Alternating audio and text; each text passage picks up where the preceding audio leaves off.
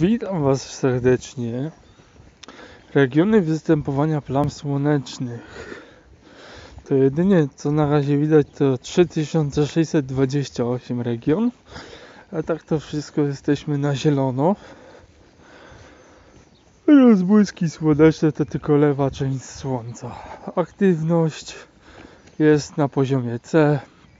Bieżąca wartość B3.94 najwyższa B7.29 dziury koronalne to tylko południowa część słońca.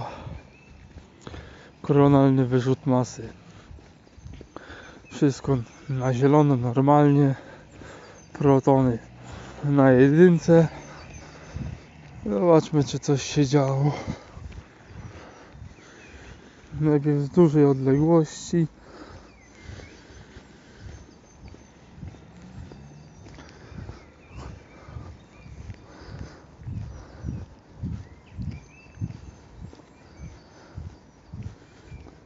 mamy wyrzut coronal mass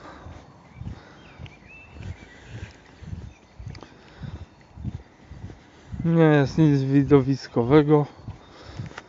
Powiem szczerze dlatego nie robiłem prognozy pogody kosmicznej bo nie było potrzeby. Jakby była potrzeba to bym robił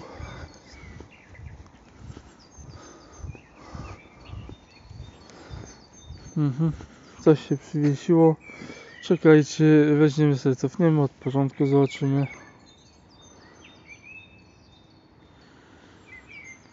Koronalny wyrzut masy jest wystrzeliwany non stop, ale nie jest tak spektakularnie jak obserwowaliśmy na dniach.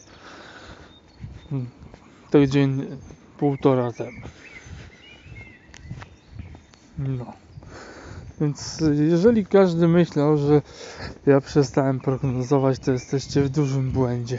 Po prostu nic się nie dzieje. A jeśli nic się nie dzieje, to nie trzeba prognozować. Pozdrawiam serdecznie.